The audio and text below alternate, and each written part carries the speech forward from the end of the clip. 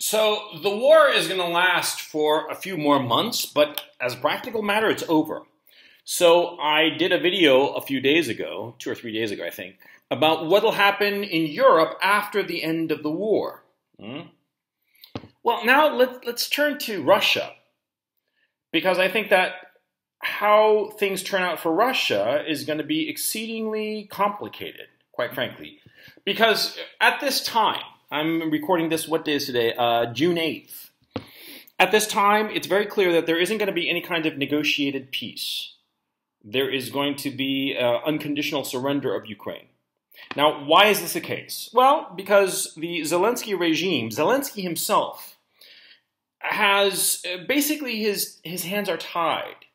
Because if he goes for a negotiation, a realistic negotiation, whereby he accedes to the fact that Crimea is gone, the Donbass is gone, Kherson is gone, and probably Zaporozhye and Odessa are or will be gone, you know, the, his own people, the extreme right in his government, will depose him. And so he can't accede to that sort of negotiation. He has to start from the premise that we will only negotiate if Russia removes itself from the entirety of Ukraine, including Crimea, and that, of course, is never going to happen. And so there isn't going to be any kind of negotiation. It could very well be that for tactical and PR reasons, both Russia and the Zelensky regime sit down to talk, but those talks are going to be absolutely meaningless. And also, the mood in Russia is such that Putin doesn't have a lot of room to maneuver anymore in terms of any kind of a ceasefire.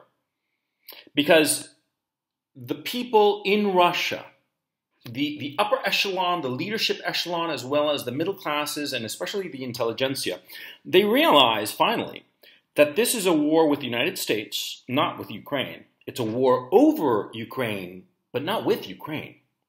It's with the United States and NATO. And so they realize that, and so they realize that there can only be complete victory in Ukraine. Uh, Ukraine, in and of itself, actually doesn't even matter because it's the war with the Americans. That's the war that really matters. And the intellectual classes, the upper middle classes, the leadership classes in Russia understand this. And so they realize that the Russian armies are going to have to go all the way insofar as Ukraine. And so if Putin were to say, oh, yes, let's do a ceasefire, he'd probably be deposed. And he probably doesn't even want to do it because he realizes that, you see, any part of Ukraine that remains free, for lack of a better word, will be a thorn in the side of Russia. No, not a thorn in the side of Russia. It'll be a spear in the side of Russia. Russia can't afford to have a truly sovereign Ukraine on its borders anymore. Ukraine's sovereignty is gone forever. Ukraine, whatever remains, whatever political entity remains that is called Ukraine, will of necessity have to be a puppet state controlled by Russia. That is the only outcome for Russia. Because you see, the, the east and south of Ukraine at this time, it's quite obvious. Russia is going into those areas, going into the east, going into the south, all the way to Odessa, and they already have Crimea, and all of this band, all the way to Transnistria, this is going to become part of the Russian Federation.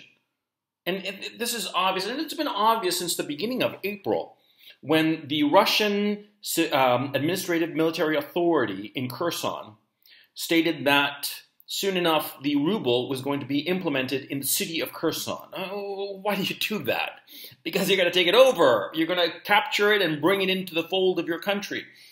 That whole territory, East Ukraine and South Ukraine, all the way to Odessa, all the way to Transnistria, and I include Kharkov and perhaps Sumy, but that remains to be seen. Sumy and Dnipro, Dnipropetrovsk, those are the only things that are like maybe yes, maybe no. But Kharkov and Odessa, definitely.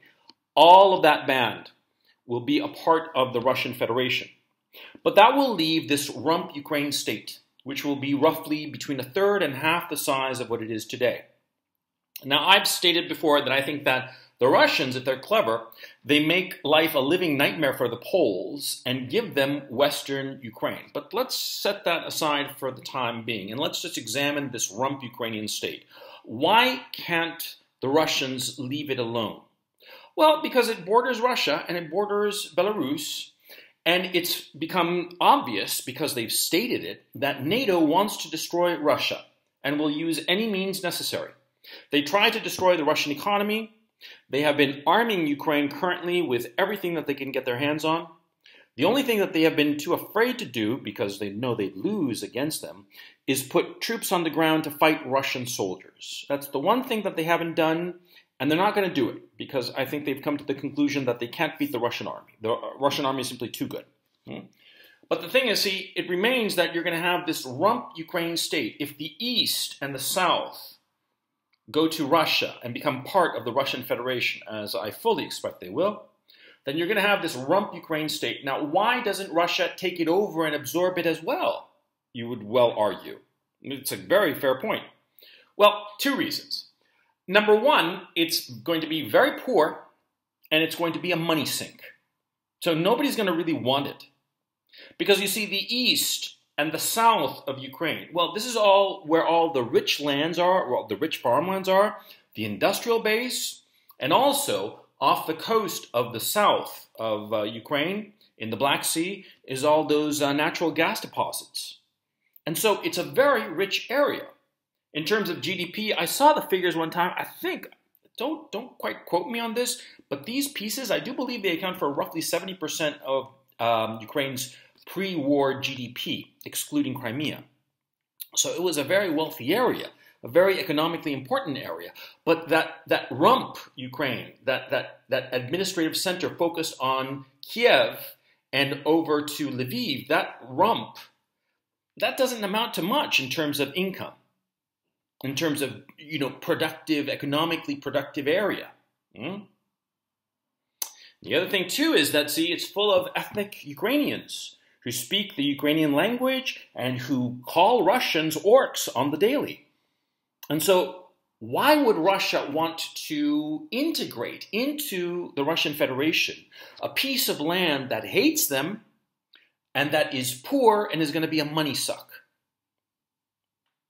They don't want to. They won't want to. So they will want to make this rump Ukraine a separate political entity, but not merely neutral, but permanently neutral, absolutely neutral. See, a neutral Ukraine, quote unquote, a, a, a, Ukraine, a rump Ukraine that is neutral, but truly politically independent, truly sovereign, would inevitably fall under the sway of NATO and the European Union. And that is something that Russia cannot afford and will not allow. It simply can't. And so they are going to install some sort of puppet regime, probably a military dictatorship. I would not be surprised if at this time or soon enough, once the complete disaster of the Donbass becomes revealed and is readily apparent to all, that the Russians will be or have been in talks with the Ukrainian military and creating the conditions whereby the military can overthrow the Zelensky regime, send them packing to the West or wherever they want to go, and take over the rump Ukraine. That's the only like clear solution.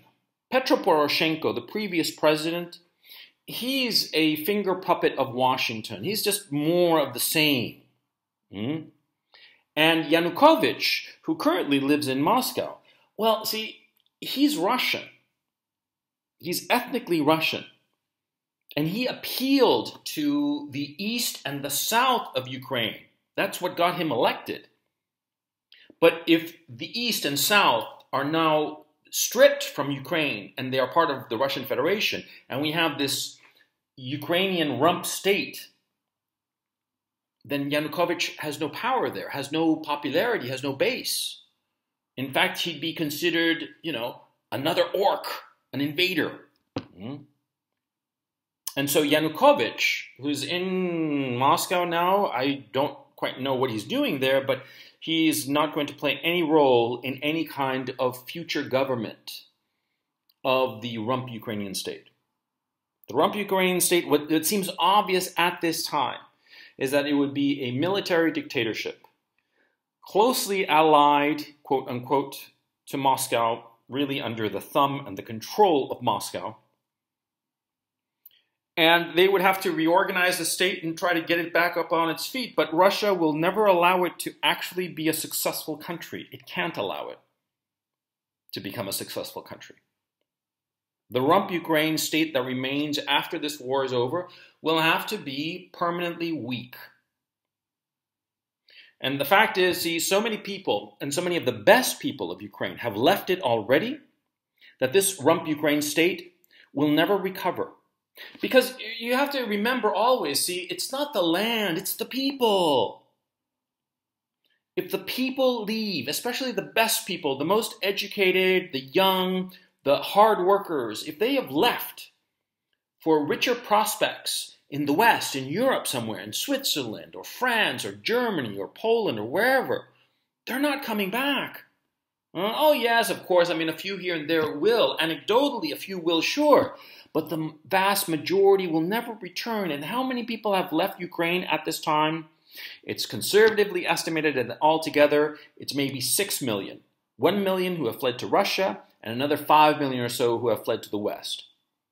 Now, of those who have fled to the West, how many realistically will return once things normalize, say within the next uh, 6 to 12 months?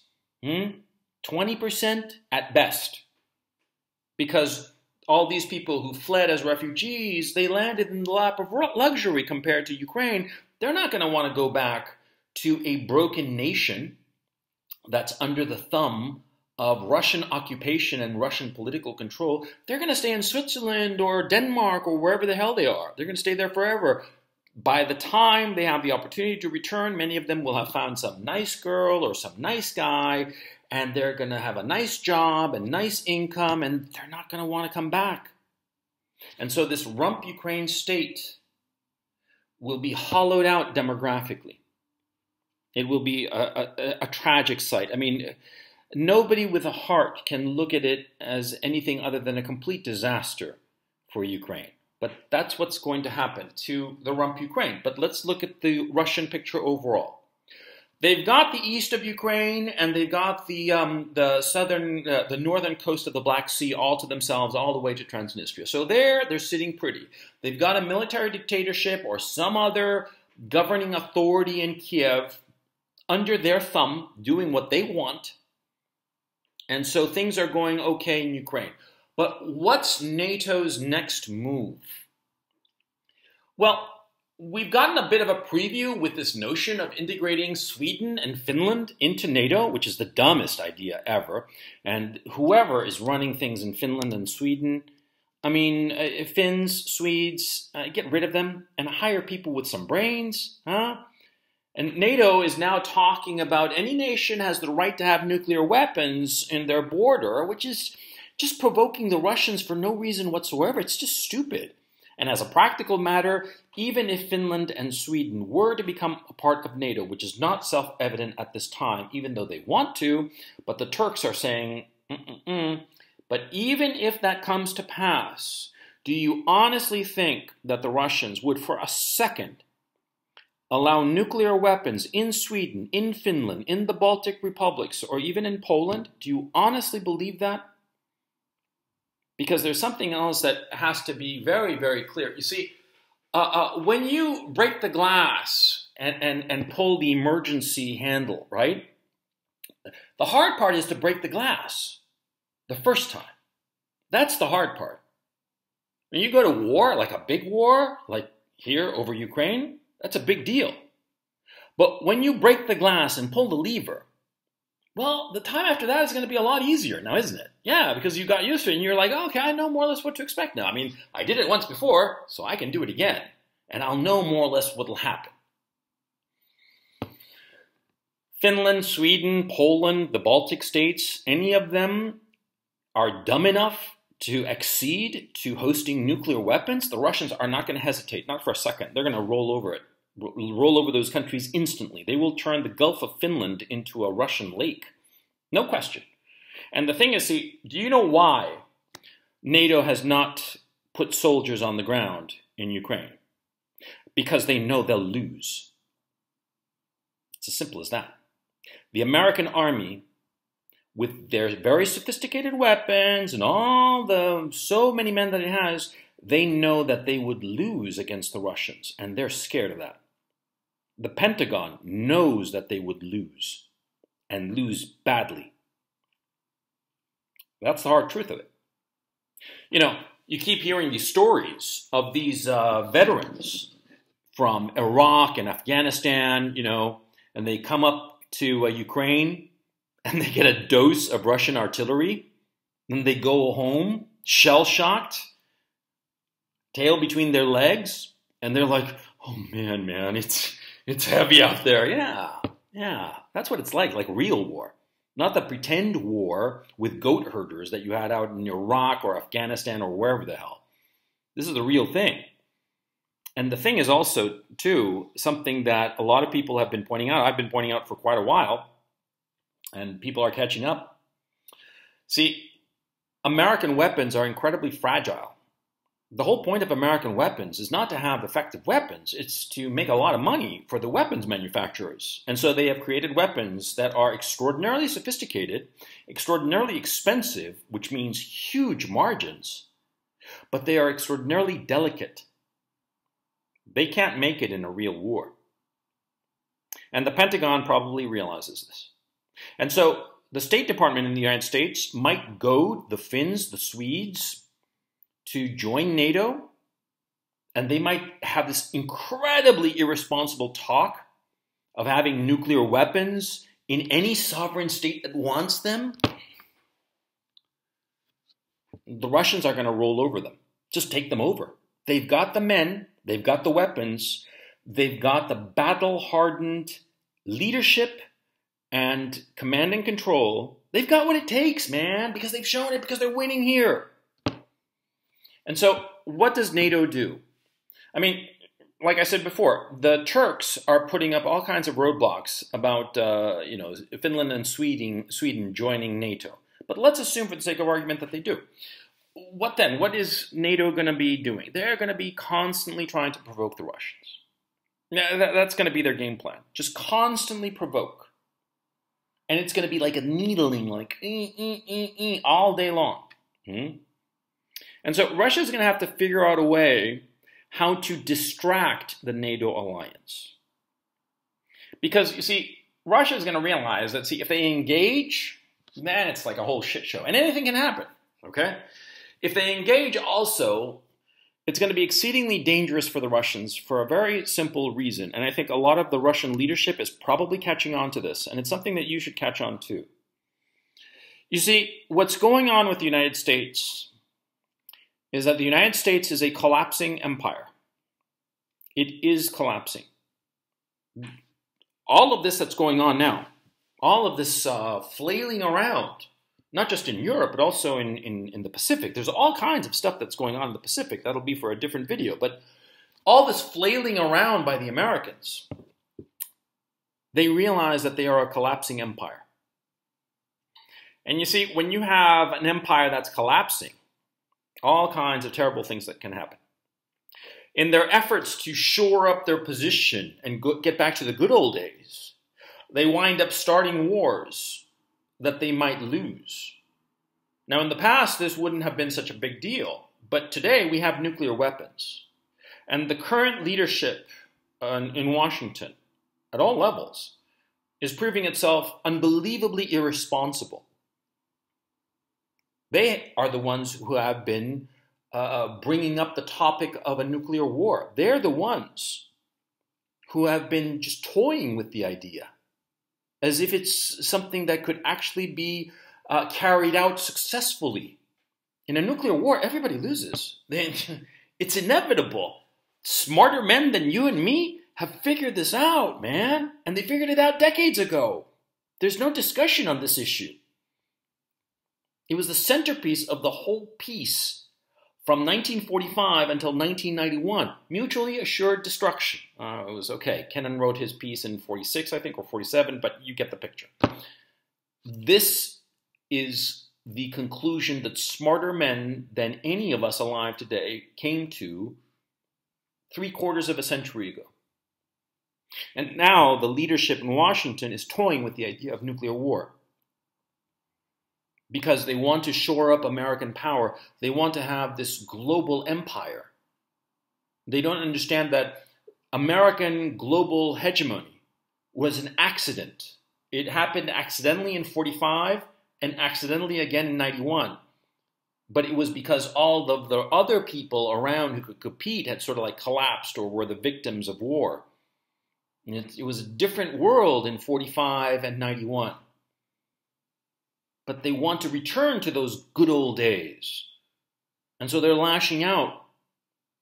And so what Russia has to be doing is not provoking the Russia, the Americans rather. The Russians have to be going out of their way to make sure that this thrashing, panicked, fearful empire that is collapsing focuses its attention elsewhere. China because this collapsing empire sees its closest rival as the, as the imminent threat. I mean, don't get me wrong, the leadership in America hates the Russians, hates them with a passion. I mean, Jesus Christ, do they hate the Russians? And they project this hatred to all their little European goblins who follow along. And it's been shocking for the Russians. It's certainly been shocking to me. I think it's been shocking to anybody with a little bit of decency, the amount of hatred and vitriol that has flown out of the Americans. But that's uh, that's not really important to this point. The, the point here is that, see, the Americans hate the Russians with a passion, but they're scared of the Chinese. They're really scared of the Chinese because they know that economically China is bigger than America. And it bothers them, it, it, it just, it just itches at them and so they are projecting onto China what they themselves are, and they are fighting or want to fight China because really what they're doing is projecting who they are onto China, which has become like a mirror.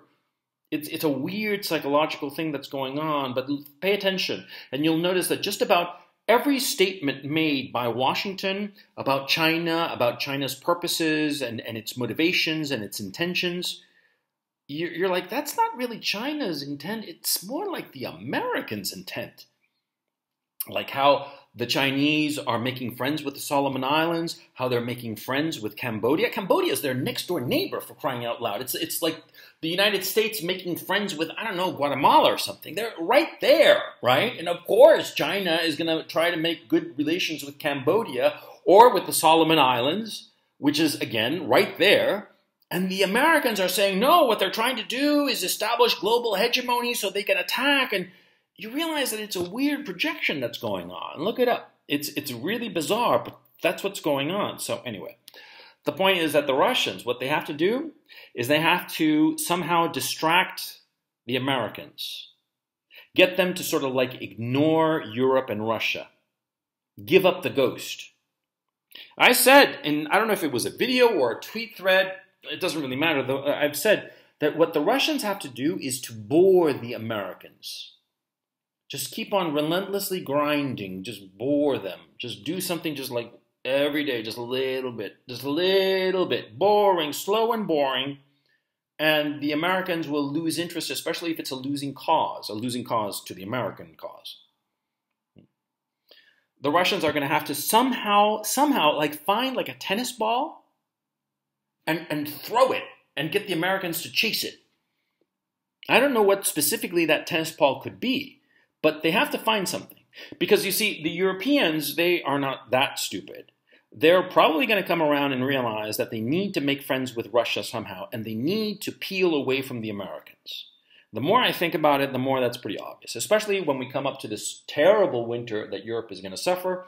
They're going to realize how badly they need um, uh, Russia. And so everybody's going to try to figure out how to get how to distract this collapsing empire to focus elsewhere.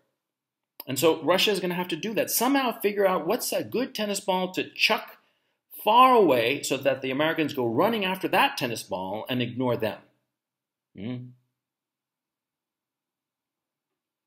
You see, in the last century, there have been two empires that have vanished great empires that vanish the British Empire and the Soviet Empire. And we, in general, in the world, we're, we were exceedingly lucky Because in both cases, that destruction, that elimination, annihilation of these two empires happened bloodlessly, or relatively bloodlessly. But that's rare in history.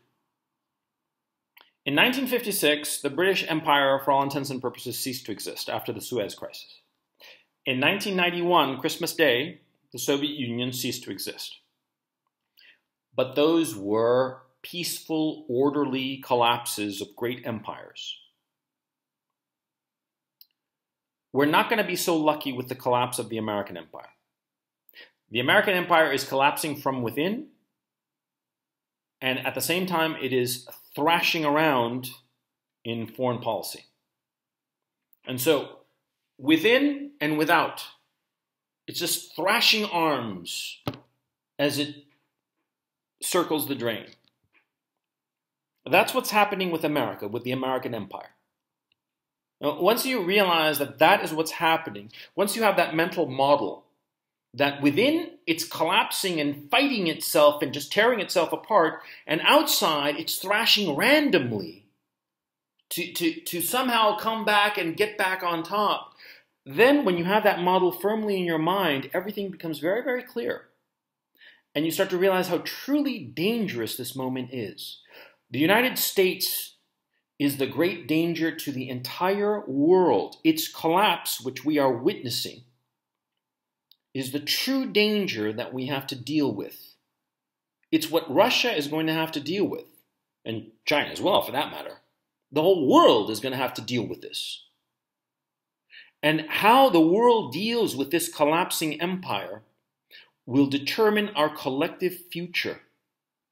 It will determine whether or not we have a future.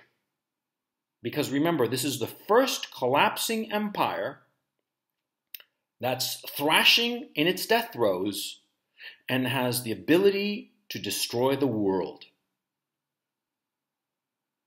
Understand what's going on.